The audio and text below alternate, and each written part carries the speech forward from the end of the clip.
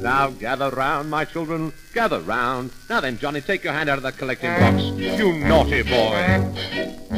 Young folks, old folks, everybody come to our little Sunday school and we will have some fun.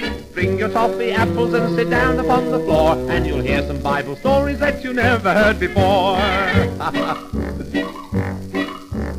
Adam was the first man, that is what we all believe. One morning he was filleted and introduced to Eve. He had no one to tell him, but he soon found out the way. And that's the only reason why we're sitting here today.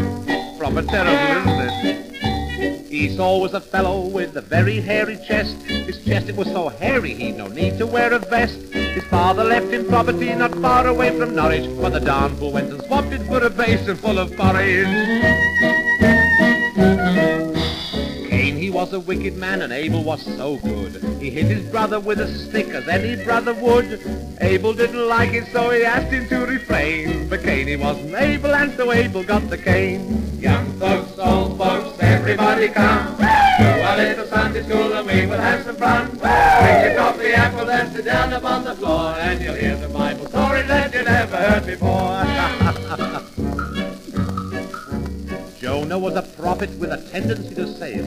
He booked a steerage ticket on a transatlantic whale. The atmospheric pressure got too heavy for his chest, so Jonah pressed the button and the whale did all the rest.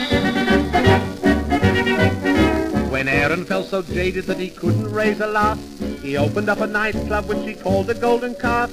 Of course the cops got wind of it, arrested all the lot, and Chief Inspector Moses got promotion on the spot.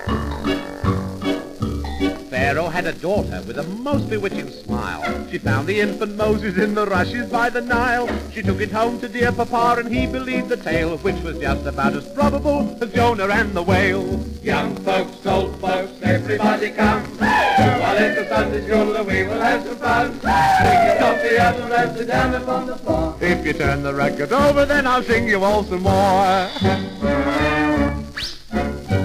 Young folks, old folks, everybody come to our little Sunday school and we will have some fun. Bring your toffee apples and sit down upon the floor and you'll hear some Bible stories that you never heard before.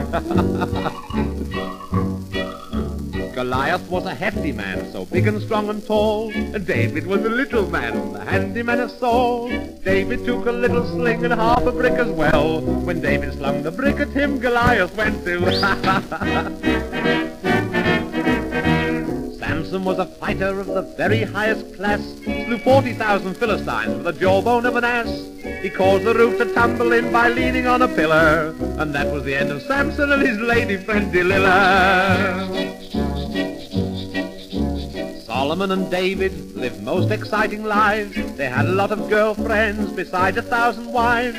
When they got older, their consciences had qualms. So one wrote the Proverbs and the other wrote the Psalms.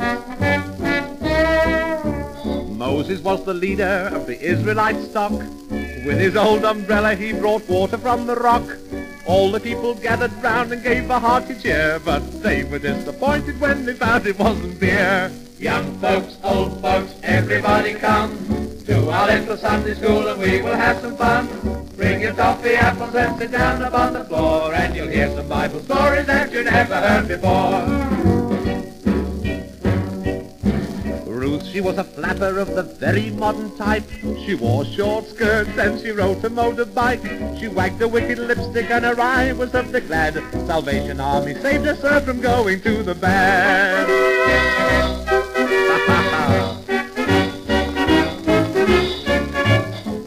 Our little Sunday school has finished for the day. I hope you're feeling better in every kind of way. I feel it sounds much better if we do it all in verse.